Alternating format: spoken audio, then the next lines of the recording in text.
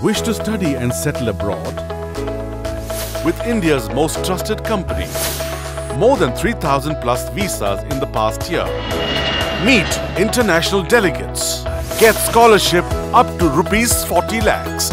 More than 2,000 plus programs to choose from. Awarded number one consultant by Canadian and American institutes. Visit www.landmarkimmigration.com.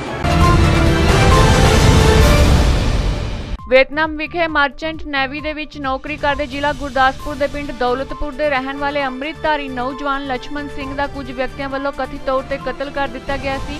ਉਕਤ ਨੌਜਵਾਨ ਦੀ ਮ੍ਰਿਤਕ ਦੇ ਅੱਜ Vietnam ਤੋਂ ਹਵਾਈ ਜਹਾਜ਼ ਰਾਹੀਂ ਸ੍ਰੀ ਗੁਰੂ ਰਾਮਦਾਸ ਜੀ ਕੌਮਾਂਤਰੀ ਹਵਾਈ ਅੱਡਾ ਰਾਜਾ ਸੰਸੀ ਪੁੱਜੀ। ਲਛਮਣ ਸਿੰਘ ਦੀ ਮ੍ਰਿਤਕ ਦੇਹ ਨੂੰ ਉਸ ਦੇ ਪਿਤਾ ਜਸਵੰਤ ਸਿੰਘ ਅਤੇ ਹੋਰਨਾਂ ਪਰਿਵਾਰਕ ਮੈਂਬਰਾਂ ਵੱਲੋਂ ਪ੍ਰਾਪਤ ਕੀਤਾ ਗਿਆ। ਦੇਸ਼ ਭਰ ਵਿੱਚ ਔਰਤਾਂ ਦੀ ਸੁਰੱਖਿਆ ਪ੍ਰਤੀ ਵੱਧ ਰਹੀਆਂ ਚਿੰਤਾਵਾਂ ਵਿਚਕਾਰ ਰੱਖਦੇ ਹੋਏ ਪੰਜਾਬ ਦੇ ਮੁੱਖ ਮੰਤਰੀ ਕੈਪਟਨ ਅਮਰਿੰਦਰ ਸਿੰਘ ਨੇ ਐਲਾਨ ਕੀਤਾ ਹੈ ਕਿ ਸੂਬੇ ਵਿੱਚ ਰਾਤ 9 ਵਜੇ ਤੋਂ ਲੈ ਕੇ ਸਵੇਰ 6 ਵਜੇ ਤੱਕ ਕੋਈ ਵੀ ਔਰਤ ਬਾਹਰ ਫਸ ਗਈ ਹੈ। ਤਾਂ ਪੁਲਿਸ ਉਸ ਦੀ ਮਦਦ ਲਈ ਅੱਗੇ ਆਏਗੀ ਤੇ ਉਸ ਨੂੰ ਸੁਰੱਖਿਅਤ ਘਰ ਛੱਡ ਕੇ ਆਏਗੀ। ਇਸ ਸੰਬੰਧੀ ਡਾਇਲ 100 112 ਤੇ 181 ਨੰਬਰ ਤੇ ਸਹੂਲਤ ਮੁਹੱਈਆ ਕਰਵਾਈ ਜਾਏਗੀ, ਜਿਸ ਨਾਲ ਪੁਲਿਸ ਕੰਟਰੋਲ ਰੂਮ ਦੇ ਨਾਲ ਤੁਰੰਤ ਸੰਪਰਕ ਸਾਧਿਆ ਜਾ ਸਕੇਗਾ।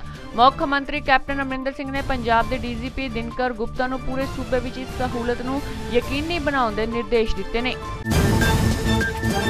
ਬਠਿੰਡਾ ਛਾਉਣੀ ਅੰਦਰ ਦਿਓਰ ਅਤੇ ਜੇਠ ਨੇ ਮਿਲ ਕੇ ਸਕੀ ਭਰਜਾਈ ਦਾ ਕਰੰਟ ਲਗਾ ਕੇ ਅਤੇ ਗਲਾ ਘੁੱਟ ਕੇ ਕਤਲ ਕਰ ਦਿੱਤਾ। ਤਿੰਨੋਂ ਸਕੇ ਭਰਾ ਫੌਜੀ ਹਨ ਅਤੇ ਮੱਧ ਪ੍ਰਦੇਸ਼ ਦੇ ਰਹਿਣ ਵਾਲੇ ਹਨ। ਥਾਣਾ ਛਾਉਣੀ ਦੀ ਪੁਲਿਸ ਨੇ ਦੋਵੇਂ ਮੁਲਜ਼ਮਾਂ ਭਰਾਵਾਂ ਨੂੰ ਗ੍ਰਿਫਤਾਰ ਕਰਕੇ ਮਾਮਲੇ ਦੀ ਪੜਤਾਲ ਸ਼ੁਰੂ ਕਰ ਦਿੱਤੀ ਹੈ। ਦਿੱਲੀ ਦੇ ਰਾਜਘਾਟ ਵਿਖੇ ਦਿੱਲੀ ਮਹਿਲਾ ਕਮਿਸ਼ਨ ਦੀ ਚੇਅਰਪਰਸਨ ਸਵਾਤੀ ਮਾਲੀਵਾਲ ਦੀ ਭੁੱਖ ਹੜਤਾਲ ਜਾਰੀ ਹੈ। ਸਵਾਤੀ ਮਾਲੀਵਾਲ ਵੱਲੋਂ ਜਬਰ ਜਨਾਹ ਦੇ ਦੋਸ਼ੀਆਂ ਨੂੰ 6 ਮਹੀਨਿਆਂ ਅੰਦਰ ਮੌਤ ਦੀ ਸਜ਼ਾ ਦੀ ਮੰਗ ਨੂੰ ਲੈ ਕੇ ਭੁੱਖ ਹੜਤਾਲ ਸ਼ੁਰੂ ਕੀਤੀ ਗਈ ਹੈ। ਬਠਿੰਡਾ ਪਿੰਡ ਭੁੰਦਰ ਵਿੱਚ ਅਣਪਛਾਤੇ ਲੋਕਾਂ ਨੇ ਇੱਕ ਨੌਜਵਾਨ ਫੋਟੋਗ੍ਰਾਫਰ ਦਾ ਗੋਲੀਆਂ ਮਾਰ ਕੇ ਕਤਲ ਕਰ ਦਿੱਤਾ। ਨੌਜਵਾਨ ਦੀ ਲਾਸ਼ ਟੱਡੇ ਰੋਡ ਤੇ ਸਥਿਤ ਨਾਲੇ ਕੋਲ ਸੜਕ ਤੋਂ ਮਿਲੀ। ਘਟਨਾ ਦਾ ਪਤਾ ਲੱਗਦਿਆਂ ਹੀ ਥਾਣਾ ਬਾਲਿਆਵਾਲੀ ਦੀ ਟੀਮ ਨੇ ਇਲਾਕਾ ਬਠਿੰਡਾ ਤੋਂ ਐਸਪੀ ਡੀਜੀਐਮ ਸੰਘਾ ਸੀਆਈਏ 2 ਦੀ ਟੀਮ ਮੌਕੇ ਤੇ ਪਹੁੰਚੀ। ਨੌਜਵਾਨ ਦੇ ਕਤਲ ਦਾ ਹਾਲੇ ਪਤਾ ਨਹੀਂ ਲੱਗਿਆ। ਪੁਲਿਸ ਨੇ ਫਿਲਹਾਲ ਅਣਪਛਾਤੇ ਲੋਕਾਂ ਦੇ ਖਿਲਾਫ ਮਾਮਲਾ ਦਰਜ ਕਰ ਅਗਲੇਰੀ ਕਾਰਵਾਈ ਸ਼ੁਰੂ ਕਰ ਦਿੱਤੀ ਹੈ। ਹਿਸਾਰ ਦੇ ਸੈਨਿਆਨ ਮੁਹੱਲੇ ਦੇ ਵਿੱਚ ਦਿਨ ਦਿਹਾੜੇ ਤਿੰਨ ਨੌਜਵਾਨ ਗੋਲੀਆਂ ਚਲਾ ਕੇ ਫਰਾਰ ਹੋ ਗਏ। ਜਿਸ ਕਾਰਨ ਦੋ ਨੌਜਵਾਨਾਂ ਦੀ ਗੋਲੀ ਲੱਗਣ ਦੇ ਕਾਰਨ ਜ਼ਖਮੀ ਹੋਣ ਦੀ ਖਬਰ ਸਾਹਮਣੇ ਆਈ ਹੈ। ਹਮਲੇ ਦੇ ਕਾਰਨ ਪੁਰਾਣੀ ਰੰਜਿਸ਼ ਦੱਸਿਆ ਜਾ ਰਿਹਾ ਹੈ। ਮੋਗਾ ਕਸਬਾ ਕੋਟ ਇਸੇ ਖਾਂ ਦੇ ਇੱਕ ਵਿਆਹ ਸਮਾਗਮ ਵਿੱਚ ਗੋਲੀ ਚੱਲਣ ਦੇ ਨਾਲ ਡੀਜੇ ਵਾਲੇ ਮੁੰਡੇ ਦੀ ਮੌਤ ਹੋ ਗਈ ਸੀ, ਜਿਸ ਦਾ ਪੋਸਟਮਾਰਟਮ ਹੋਣ ਤੋਂ ਬਾਅਦ ਸੰਸਕਾਰ ਕਰ ਦਿੱਤਾ ਗਿਆ। ਇਸ ਮੌਕੇ ਪ੍ਰਸ਼ਾਸਨ ਵੱਲੋਂ ਪੀੜਤ ਪਰਿਵਾਰ ਨੂੰ 4 ਲੱਖ ਰੁਪਏ ਦਾ ਚੈੱਕ ਵੀ ਦਿੱਤਾ ਗਿਆ। ਦਰਅਸਲ ਵਿਆਹ ਵਿੱਚ ਸ਼ਰਾਬ ਪੀ ਕੇ ਮੁੰਡੇ ਨੱਚ ਰਹੇ ਸੀ, ਇਸ ਦੌਰਾਨ ਨਸ਼ੇ ਦੀ ਲੋਰ ਵਿੱਚੋਂ ਫਾਇਰਿੰਗ ਕਰਨ ਲੱਗ ਪਏ। ਅਚਾਨਕ ਗੋਲੀ ਡੀਜੇ ਵਾਲੇ ਮੁੰਡੇ ਨੂੰ ਜਾ ਲੱਗੀ, ਜਿਸ ਨਾਲ ਉਸ ਦੀ ਮੌਤ ਹੋ ਗਈ। ਫਿਲਹਾਲ ਪੁਲਿਸ ਨੇ ਮਾਮਲੇ ਦੀ ਜਾਂਚ ਕਰ ਰਹੀ ਹੈ। ਕੁਝ ਮੁਲਜ਼ਮਾਂ ਨੂੰ ਰਿਮਾਂਡ ਤੇ ਵੀ ਲਿਆ ਗਿਆ ਹੈ। ਫਰੀਦਕੋਟ ਸ੍ਰੀ ਗੁਰੂ ਗ੍ਰੰਥ ਸਾਹਿਬ ਬੇਅਦਬੀ ਮਾਮਲੇ ਵਿੱਚ ਇੱਕ ਵਾਰ ਫਿਰ ਸੀਬੀਆਈ ਨੇ ਆਪਣੀ ਜਾਂਚ ਸ਼ੁਰੂ ਕਰ ਦਿੱਤੀ ਹੈ। ਇਸ ਮਾਮਲੇ ਨੂੰ ਲੈ ਕੇ ਸੀਬੀਆਈ ਦੇ 6 ਅਧਿਕਾਰੀ ਬਰਗਾੜੀ ਦੇ ਪਿੰਡ ਬੂਰਜ ਜਵਾਹਰ ਸਿੰਘ ਵਾਲਾ ਪਹੁੰਚੇ। ਇੱਥੋਂ ਹੀ ਜੂਨ 2015 ਨੂੰ ਸ੍ਰੀ ਗੁਰੂ ਗ੍ਰੰਥ ਸਾਹਿਬ ਜੀ ਦਾ ਸਰੂਪ ਚੋਰੀ ਹੋਇਆ ਸੀ।